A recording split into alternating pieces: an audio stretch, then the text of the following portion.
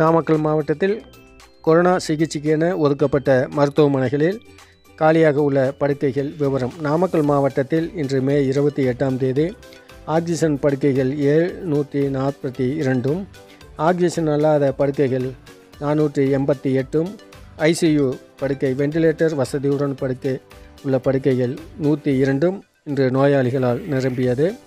மாவட்டத்தில் காலியாக உள்ள படுக்கைகள் விவரம்.